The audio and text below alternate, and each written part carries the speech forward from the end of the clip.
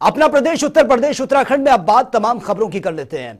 CM योगी की अध्यक्षता में कैबिनेट की बैठक आयोजित की गई थी जिसमें कैबिनेट ने 20 अहम प्रस्ताव पर मोहर लगाई है। उत्तर प्रदेश राज्य जैव ऊर्जा नीति 2022 के क्रियान्वयन के संबंध में प्रस्ताव पास किया गया। प्रदेश में 5,500 करोड़ रुपए का निवेश प्राप्त होगा।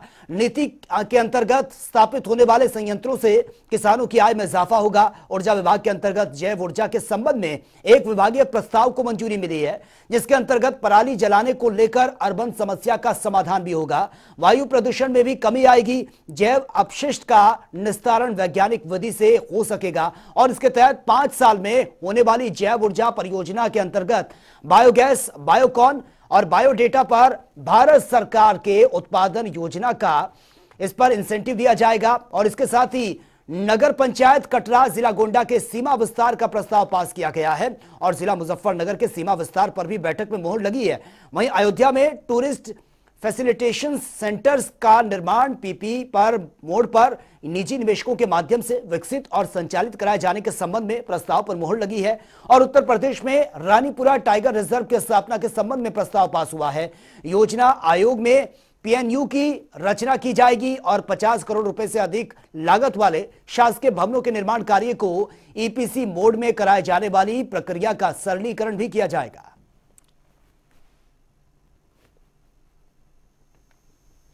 जलाने से बेहतर है पराली को बेच देना पराली को ऐसी जगह पे ले जा करके उसका सदुपयोग करना उसके ज़रिए पैसा आ, कुछ मिल जाएगा उनकी इनकी इनकम बढ़ जाएगी। तो ऐसे प्रचार प्रसार के लिए भी हमने प्रति जनपद एक लाख रुपए की व्यवस्था की है उसके लिए भी हमने प्रावधान रखा है। और उसी प्रकार टांडा गोंडा ज़िले की कटरा नगर पंचायत का भी सीमा विस्तार किया गया है। मुजफ्फरनगर में खानजहांपुर मंधेड़ा मीरापुर, बहलना, सुजरू, सहावली, सरवट, कुकड़ा, मुजफ्फरनगर साहबुद्दीनपुर गाँव अलमासपुर, बीबीपुर, मुस्तफाबाद, शेवनगर और बिलासपुर। इस तरह इस प्रकार के गाँव सम्मिलित किए गए हैं। उसी प्रकार गोंडा में की कटरा में चचेरा, बीरपुर, कटरा, मझौवा एवं बाबूपुर करके गाँव शामिल किए गए हैं। अभी भी चूँकि ये विस्तार का मामला है, इसलिए नगर निकायों की कुल संख्या में कोई परिवर्तन नहीं होता है। नगर निगम अभी सत्रह हैं नगर पालिकाएँ जो पिछले कैबिनेट के स्तर के समय पे जो स्थिति थी, वही है। नगर पंचायत 545 इस प्रकार कुल सात सौ बासठ नगर निकाय है। और वही बीजेपी के प्रदेश अध्यक्ष भूपेंद्र चौधरी आज बिजनौर ज़िले के दौरे पर पहुँचे हैं। भूपेंद्र चौधरी ने जिला पंचायत कार्यालय भवन का उद्घाटन किया, साथ ही पीडब्ल्यूडी गेस्ट हाउस पहुंचकर प्रदेश अध्यक्ष ने 2024 के चुनाव सहित नगर निकाय और एमएलसी चुनाव को लेकर बड़ी बात उन्होंने कही है। प्रदेश अध्यक्ष ने कहा कि एमएलसी नगर के चुनाव को लेकर बीजेपी अब बार अपने प्रत्याशी खड़ा करेगी। साथ ही अब बार नगर निकाय चुनाव में बीजेपी की सीट सभी सीटों पर जीत भी पक्की उन्होंने कही है। भूपेंद्र चौधरी ने 2024 के चुनाव को लेकर कहा कि बीते विधानसभा चुनाव में उत्तर प्रदेश में बीजेपी ने ऐतिहासिक जीत हासिल की थी और साथ ही अब की बार 2024 में भी बीजेपी उत्तर प्रदेश की सभी 80 सीटों पर जीत हासिल करेगी। किसी भी राजनीतिक दल के लिए अपने प्रदेश और देश की महान जनता का इतना आशीर्वाद और इसने नरेंद्र मोदी जी के नेतृत्व में भाजपा को मिला है। हमारे लिए गर्व की बात है और हम सब अपेक्षाएँ लोगों की पूरा करेंगे और निश्चित रूप से लोकसभा चुनाव से पहले एक सीट एमएलसी का चुनाव है आपका। नगर निकायों के चुनाव। पिछली बार हम सोलह में से चौदह नगर निगम जीते थे, मेरठ, अलीगढ़ हार हम दोनों वो भी जीतेंगे, नया वाला बना है शाहजहांपुर, वो भी जीतेंगे और जो पुराने चौदह जीते थे, वो भी जीतेंगे। कितने हो गए? सत्रह के सत्रह जीते। और देश भर में बीते कुछ दिनों से लगातार पॉपुलर फ्रंट ऑफ़ इंडिया यानी कि पीएफआई के ठिकानों पर ताबड़तोड़ छापेमारी चल रही है। पहले एनआईए और ईडी ने इनके ठिकानों पर छापेमारी की थी और आज यूपी में एक बार फिर से यूपी एटीएस और यूपी एसटीएफ ने पीएफआई के ठिकानों पर छापेमारी और यह बड़ी कार्रवाई की है। और यूपी के 26 ठिकानों पर संयुक्त टीम ने बड़ी कार्रवाई की है। मामले पर यूपी पुलिस के एडीजी कानून व्यवस्था प्रशांत कुमार ने जानकारी देते हुए कहा है कि पीएफआई के खिलाफ जारी देशव्यापी अभियान के तहत यूपी में 26 जिलों में यह छापेमारी की गई है, जिनमें से सत्तावन लोग हिरासत में लिए गए हैं और उनके खिलाफ विधिक कार्रवाई जारी है।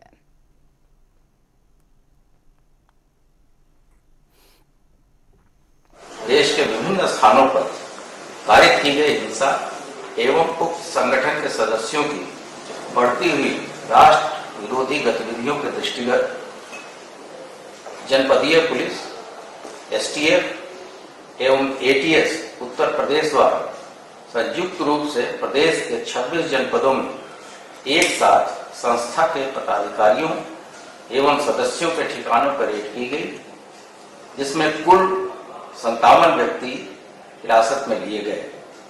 इस रेड के उपरांत मौके से बरामद विभिन्न प्रकार के अभिलेखों एवं साक्ष्यों का संयुक्त रूप से विश्लेषण किया जा रहा है। उपलब्ध अभिलेखों एवं साक्ष्यों के आधार पर अग्रिम विधिक कार्रवाई अमल में लाई जाएगी। और पीएफआई के खिलाफ कार्रवाई को लेकर डिप्टी सीएम ब्रिजेश पाठक ने भी अपनी प्रतिक्रिया दी है। ब्रिजेश पाठक ने कहा कि पीएफआई के नेटवर्क को पूरी तरह से ध्वस्त किया जा रहा है। पूरे प्रदेश में सतर्कता बढ़ा दी गई है। लोग सर्विलांस पर हैं। और किसी भी स्थिति में हम प्रदेश में गैर कानूनी गतिविधियों को अनुमति नहीं देंगे और कड़ी कार्रवाई ये की जाएगी। उन्होंने कहा कि असामाजिक गतिविधियों को रोकने के लिए सरकार लगातार प्रयास कर रही है। प्रदेश में आतंकी गतिविधि करने वाले बर्दाश्त नहीं किए जाएँगे। आतंकवाद को खत्म करना हमारी प्राथमिकता है। आतंकी गतिविधियों में संलिप्त लोगों को छोड़ा नहीं जाएगा।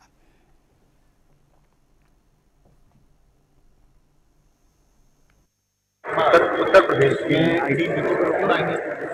मध्य सरकार लगातार ऐसे संदिग्ध व्यक्तियों की निगरानी करती है जो जरा भी असामाजिक या गैर कानूनी गतिविधियों में संलिप्त है। ये बहुत ही गंभीर सूत्रों से पता चला था कि इस प्रकार की कार्रवाई में लगातार लोग लगे हुए हैं। एटीएस ने कार्रवाई की है और बड़ी संख्या में धरपकड़ हुई है लगातार अभी कार्रवाई जारी है। अभी भी सरकार ने लगातार सतर्कता बरतने की, निगरानी करने के निर्देश दिए हैं। सभी जिलों के पुलिस अधीक्षकों को, जिलाधिकारियों को कहा गया है, ऐसे संदिग्ध लोग जो गैर कानूनी गतिविधियों में लिप्त हैं, प्रदेश के अमन चैन को डिस्टर्ब करना चाहते हैं, उनके खिलाफ कड़ी कार्रवाई करें और उनको तत्काल गिरफ़्तार करके और उत्तर रेलवे के वरिष्ठ मंडल वित्त प्रबंधक ने वेतन के साथ मिलने वाले भत्ते को रोके जाने का आदेश सुनाया है। नाराज़ रेल कर्मियों ने प्रबंधक कार्यालय पर विरोध प्रदर्शन किया तो वहीं इस हिटलर आदेश को वापस लेने की डिमांड भी की है। वित्त प्रबंधक का कहना है कि मुख्यालय से अतिरिक्त बजट आवंटन करने से इनकार कर दिया गया। यूनियन नेता अमित शर्मा ने जनता टीवी को बताया है कि इस फैसले से हर एक कर्मचारी की सैलरी पर तीन हज़ार से लेकर दस हज़ार तक का असर पड़ने वाला है।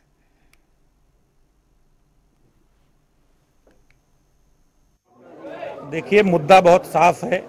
लखनऊ मंडल में तैनात लगभग बीस हज़ार रेल कर्मचारियों को यात्रा भत्ता, नाइट ड्यूटी भत्ता और नेशनल हॉलीडे एनएचए का भुगतान होता है। ये हर महीने होता है।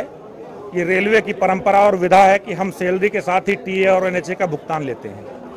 लेकिन प्रशासन ने कल एक पत्र निकाला सीनियर डीएफएम महोदय के दस एडीएफएम के दस्खत से कि हमारे पास बजट की बहुत क्राइसिस है। हम टीए एनएचए और एनडीए नहीं दे पाएँगे, हम सिर्फ़ आपको सैलरी देंगे।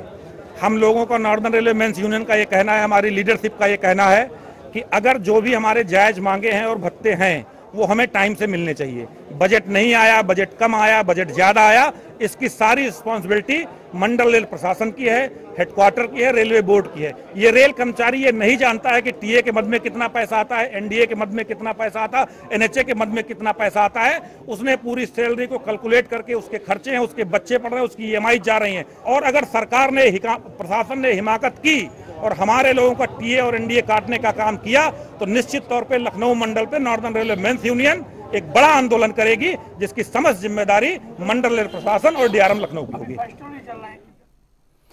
और उत्तर रेलवे लखनऊ सहित यूपी के कई जिलों में इन दिनों काफ़ी तेज़ी से विकास और रेल लाइनों का विस्तार किया जा रहा है, जिसमें डबलिंग, नॉन इंटरलॉकिंग और इलेक्ट्रिक फिकेशन सहित कई अहम प्रोजेक्ट इसमें शामिल हैं। रेलवे बोर्ड के सदस्य इंफ्रा सुधांशु ने इस क्रम में लखनऊ पहुंचकर चारबाग स्टेशन और यार्ड में चल रही गतिविधियों का जायजा लिया है। मेंबर ने प्लेटफॉर्म आठ और नौ से पैदल चलकर यार्ड का निरीक्षण किया। इस दौरान एडीआरएम जयंत कुमार चौधरी और स्टेशन डायरेक्टर आशीष सिंह और कई अधिकारियों के साथ उन्होंने यहाँ चल रहे प्रोजेक्ट पर चर्चा भी की है। एडीआरएम ने कहा, उन्हें यार्ड से दिलकुशा तक फोर लेन एग्जिट और एंट्री प्रोजेक्ट के बारे में जानकारी दी।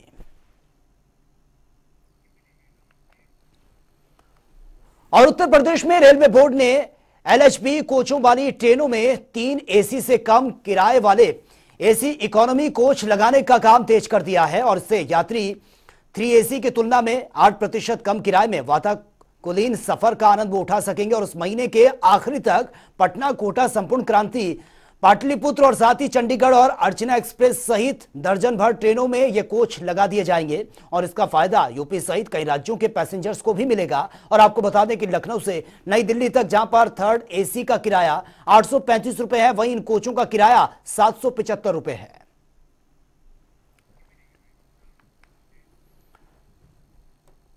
और गोरखपुर में एक चाय की स्टॉल काफ़ी मशहूर हो रही है। लोग दूर दराज से आकर यहाँ पर चाय भी पी रहे हैं और चाय पीने के बाद कुल्हड़ को भी वो खा जा रहे हैं। गेहूँ, मादे और मेदे और मक्खन माफ़ करना, मक्के के आटे से विशेष रूप से इस एडबिल प्याले को तैयार किया गया है और चाय की दुकान पर इस विशेष प्याले में ही चाय की वो मांग भी कर रहे हैं। खाने योग्य होने से इस प्याले से कागज़ और मिट्टी के प्याले की तरह गंदगी और प्रदूषण नहीं फैल रहा है। वहीं लोगों को इसका स्वाद भी काफ़ी पसंद आ रहा है और ध्यान में रखकर ही प्याले, वनीला, इलायची और चॉकलेट समेत कई अन्य फ्लेवर भी इसमें बनाए जा रहे हैं।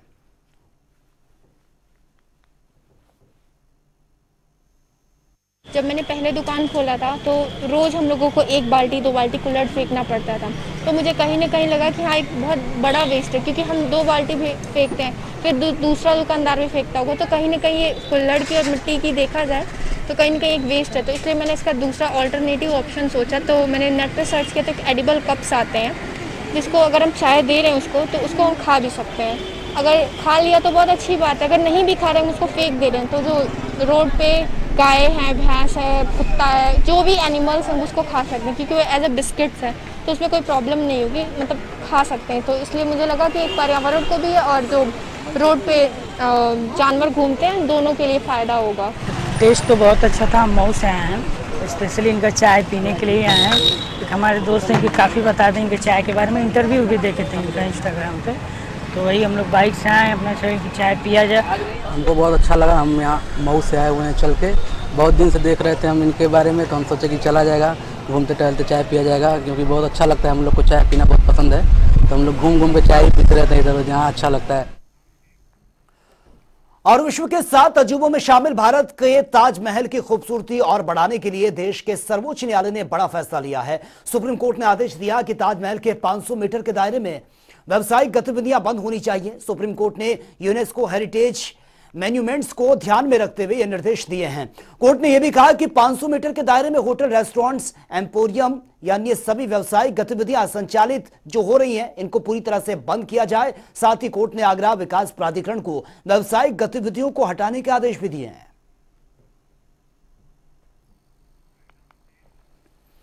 और उत्तराखंड के मुख्यमंत्री पुष्कर सिंह धामी ने केंद्रीय पर्यटन मंत्री जी किशन रेड्डी से मुलाकात की है और इस दौरान धार्मिक पर्यटन की दृष्टि से महत्वपूर्ण।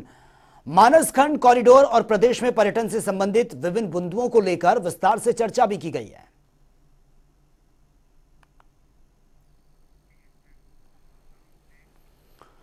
और विधानसभा सचिवालय में हुई भर्ती घपले में निरस्त की गई 228 नियुक्तियों के मामले में विधानसभा ने अब संबंधित कार्मिकों की सेवाएँ समाप्त करने की प्रक्रिया शुरू कर दी है। इस कड़ी में 40 कार्मिकों की सेवाएँ उनके आदेश जारी कर दिए गए हैं समाप्ति के।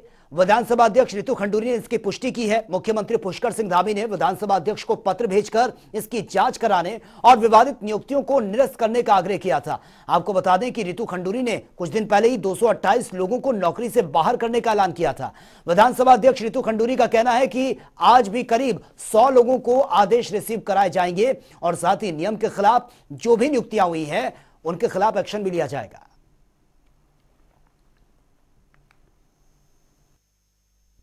उसमें आप सब जानते हैं कि बहुत क्लियरली कहा गया है कि जो भी भर्तियाँ हुई हैं, वो नियम विरुद्ध हुई हैं, चाहे एडवर्टीजमेंट निकालने की बात हो, चाहे एग्ज़ाम लेने की बात हो, लोगों को इन्फॉर्मेशन देने की बात हो, और साथ ही साथ आर्टिकल चौदह और सोलह का भी पालन नहीं हुआ है जो कहता है कि हर एक व्यक्ति को समान अवसर मिलना चाहिए जहाँ तक भर्ती का सवाल है।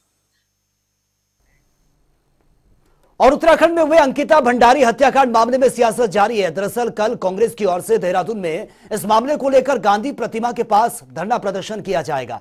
कांग्रेस प्रदेश महामंत्री नवीन जोशी ने बताया कि अंकिता भंडारी हत्याकांड मामले की सीबीआई जाँच कराने और हत्याकांड में शामिल वीआईपी का नाम उजागर करने समेत विभिन्न मांगों को लेकर गांधी पार्क में यह धरना प्रदर्शन किया जाएगा। उन्होंने कहा कि इस कार्यक्रम में पूर्व मुख्यमंत्री हरीश रावत, पूर्व पीसीसी अध्यक्ष गणेश कोदियाल और कांग्रेस प्रदेश अध्यक्ष करण महाराज समेत तमाम नेता भी मौजूद रहेंगे।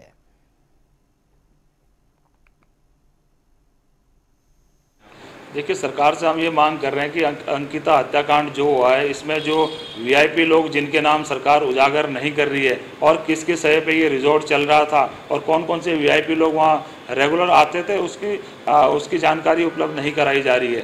और हमारी ये मांग है कि अंकिता हत्याकांड है, इसकी सीबीआई जाँच की जानी चाहिए, क्योंकि इसमें बहुत से सफ़ेद पोस्ट संलिप्त है, क्योंकि वहाँ पे रिजोर्ट को भी तोड़ दिया गया, आखिर किसके इशारे पे रिजोर्ट को गिराया गया है? क्योंकि वहाँ का लोकल प्रशासन तो उनको तो कोई अनुमति नहीं थी वहाँ पे गिराने की तो उन्होंने वहाँ जो साक्ष्य थे उनको मिटाने के लिए वहाँ पे तोड़फोड़ की गई है। तो इसके विरोध में कल हम गांधी पार्क में हमारे कांग्रेस के प्रदेश अध्यक्ष करण मेहरा जी और हमारे गणेश गोदियाल जी और हमारे आर्या जी और सारे हमारे वरिष्ठ लोग वहाँ पे उपस्थित होंगे और इसके विरोध में हम जब तक इसकी सीबीआई जाँच की मांग को हम लेकर वहाँ पे बैठे हैं, जब तक सरकार हमारी इस बात को नहीं मांगती, हम इसका विरोध जारी रखेंगे। और उत्तराखंड बीजेपी ने संगठनात्मक रूप से पाँच जिलों के विस्तार करने के बाद अब संगठन पदाधिकारियों को जिलों की ज़िम्मेदारी सौंपने की कवायद भी शुरू कर दी है। पार्टी के संगठनात्मक चौदह ज़िले थे, जिसे बढ़ाकर उन्नीस कर दिया गया। और प्रदेश महामंत्री आदित्य कोठारी ने कहा है कि प्रदेश के 19 संगठनात्मक जिलों में पदाधिकारियों की टीम को भेज दिया गया था। पार्टी के वरिष्ठ नेताओं की राय जानने के लिए इसमें 16 जिलों की रिपोर्ट आ चुकी है। बचे तीन जिलों की रिपोर्ट आना बाकी है और जल्द ही रिपोर्ट आने के बाद पदाधिकारियों की नियुक्ति भी कर दी जाएगी।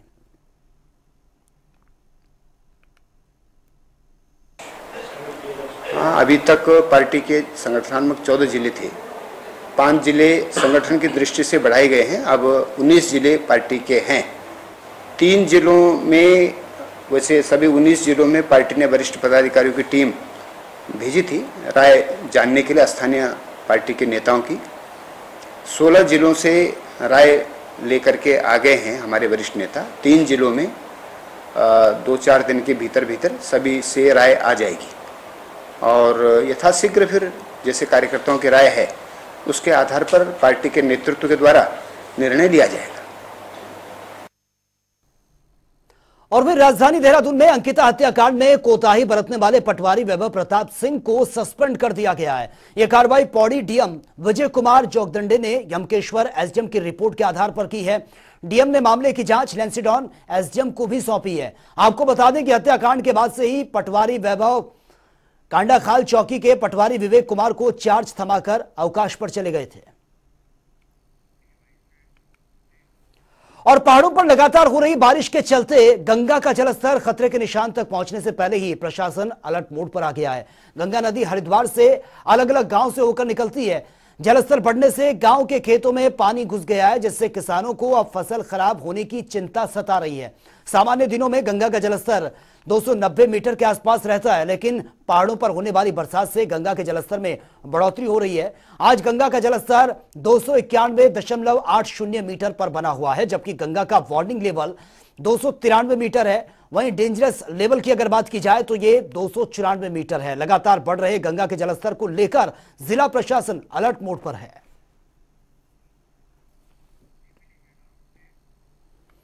और रामनगर में देश का बयालीसवा विश्व पर्यटन दिवस मनाया गया और हर साल 27 सितंबर विश्व पर्यटन दिवस के रूप में मनाया जाता है। साल इस दिवस की थीम पर्यटन पर पुनर्विचार है। यह थीम कोरोना महामारी से पर्यटन उद्योग में हुए बदलाव पर पुनर्विचार करने को लेकर प्रेरित करती नज़र आती है। विश्व पर्यटन दिवस की शुरुआत साल 1970 में विश्व पर्यटन संस्था ने की थी और इसके बाद 27 सितंबर 1980 को पहली बार विश्व पर्यटन दिवस मनाया गया था। कॉर्बेट टाइगर रिज़र्व में हमारा मुख्य प्रयास ये रहता है कि जो भी टूरिस्ट यहाँ आ रहे हैं उनमें उनको एक अच्छा अनुभव कॉर्बेट टाइगर रिज़र्व में भ्रमण के दौरान हो। और इस साल की जो थीम रीथिंकिंग टूरिज़्म पर की जो थीम है, उसमें सस्टेनेबल टूरिज़्म पर बहुत ज़ोर दिया गया है। खासकर कोविड 19 के बाद जो परिवर्तन टूरिज़्म सेक्टर में हुआ है, उसको किस तरीके से उससे उभरा जाए और किस तरीके से उसे बेहतरी की तरफ़ ले जाया जाए, इस पर हमें चिंतन करने की ज़रूरत है। साथ ही साथ हमें यह भी ध्यान रखना है कि टूरिज़्म टाइगर सेंट्रिक टूरिज़्म इस तरीके से संभव हो पाए जिसमें कि कंजर्वेशन को और सस्टेनेबल डेवलपमेंट को हम एक बैलेंस के रूप में स्थापित करते हुए हम आगे ले जा सकें। और राजधानी में बीजेपी किसान मोर्चा ने प्रशिक्षण वर्ग का आयोजन 29 और 30 तारीख को रखा है। इस प्रशिक्षण वर्ग में आठ राज्यों के लगभग 400 प्रतिनिधि प्रतिभाग भी करेंगे। आयोजन में सरकार की किसान कल्याणकारी योजनाओं पर प्रकाश डाला जाएगा। राष्ट्रीय उपाध्यक्ष मुकेश मान ने कहा है कि बीजेपी किसान मोर्चा उत्तराखंड अपनी प्रदेश की परंपरा, संस्कृति, अतिथि देवो भव को चतुर्थार्थ करने का प्रयास करेगी। और इस कार्यशाला के 14 सत्रों में विभिन्न विषयों पर विचार और मंथन भी किया जाएगा।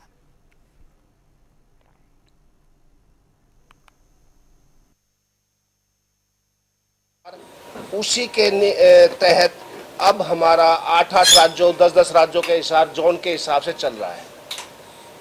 उसी कड़ी में हमारा अभी उत्तराखंड में प्रवास आठ राज्यों का होना तय हुआ है।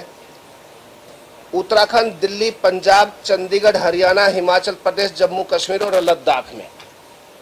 इसमें हमने 29 और 30 तारीख देहरादून में ही तय की है। जो हमारा प्रदेश किसान मोर्चे के नेतृत्व में होगा और इसमें हमने 14 सत्र तय किए हैं। उसमें हमारा उद्घाटन सत्र 9 तारीख, उनतीस तारीख को होगा, जिसका हमारे राष्ट्रीय अध्यक्ष उद्घाटन करेंगे। और उसके समापन हमारे माननीय राष्ट्रीय संगठन महामंत्री आदरणीय बी एल संतोष जी के द्वारा होगा। उसमें माननीय मुख्यमंत्री उत्तराखंड भी साथ रहेंगे। और दिल्ली हरिद्वार नेशनल हाईवे मंगलौर पर बना सर्विस लाइन विभागीय लापरवाही की भेंट चढ़ गया है। दो साल से अधर में लटका सर्विस लाइन पर बना नाला रोज़ाना हादसों को दावत दे रहा है। जिम्मेदार विभाग आँख बुने बैठा हुआ है। नेशनल हाईवे का तीन साल पूर्व चौड़ीकरण यहाँ पर किया गया था, जिसमें मंगलौर कस्बे में हाईवे के साथ स्थानीय लोगों के लिए सर्विस लाइन का निर्माण करवाया गया था। सर्विस लाइन पर नालों का निर्माण किया गया था, लेकिन दो साल पूर्व ही नाले निर्माण के कार्य को अधर में छोड़ दिया गया। अधूरे नाले के कारण रोज़ाना राहगीरों को हादसों का शिकार यहाँ पर होना पड़ रहा है। नगर पालिका प्रशासन से लेकर नेशनल हाईवे विभाग भी इन अधूरे निर्माण कार्यों को सुध लेने के लिए तैयार नहीं है, जिसके कारण दो मासूम बच्चों के साथ एक महिला नाले में गिर गई, जिसमें उसके दो साल के बच्चे की मौके पर ही मौत हो गई। वहीं मामले में नगर पालिका से भी शिकायत कर नाले को ठीक कराए जाने की अब मांग की जा रही है। आपके माध्यम से कहना चाहता हूँ कि यहाँ नेशनल हाईवे और नगर पालिका की बहुत बड़ी लापरवाही है। कोई ध्यान नहीं देता, कोई सुनवाई नहीं है बार बार कहते हैं तो कोई सुनते नहीं, पर अपना अपना पल्ला सब झाड़ देते हैं। अभी तीन चार दिन पहले एक दो साल का मासूम बच्चा, उस नाले में माँ के साथ गिर गया था। लोगों ने बहुत कोशिश करी, माँ को तो निकाल लिया। बच्चा तीन घंटे बाद मिला है, जबकि नगर पालिका वाले भी खड़े रहे नगर पालिका वालों ने कोई सहयोग नहीं करा। नेशनल हाईवे वालों को फ़ोन करा गया, उन्होंने पल्ला पल्ला झाड़ दिया, फ़ोन उठाने की भी जहमत नहीं समझी। पहली बात तो यह है कि बस स्टैंड के पास हाईवे वालों ने उस नाले को कंप्लीट नहीं किया। मेन बाज़ार से जब हाईवे पे निकलते हैं, वहाँ से भी नाला अनकम्प्लीट है। अनकम्प्लीट होने की वजह से उसका बहाव उल्टा तिरछा है, उसमें पानी जल भराव रहता है और पानी निकासी की बड़ी समस्या है। समस्या ना होती तो उस बच्चे की जान बच सकती थी। एक घर का चिराग बुझने से बच सकता था। ये नेशनल हाईवे के स्वामित्व में है और उसके लिए हम उनको जो बार बार हमने पहले भी संपर्क किया चिट्ठी लिखी थी कि जहाँ जहाँ नाले ऐसे खुले हुए हैं उनको बंद कर दिया जाए। या नगर पालिका का हैंड ओवर किया जाए तो उसके लिए हम दोबारा फिर उनसे संपर्क कर रहे हैं कि भविष्य में जो जनहानि यहाँ हुई मंगलौर में इसकी पुनरावृत्ति ना हो इसके लिए कोई व्यवस्था करी जाए। तो फ़िलहाल इस बुलेटिन में मेरे साथ इतना ही लेकिन तमाम खबरों के लिए आप बने रहिए जनता टीवी के साथ। नमस्कार।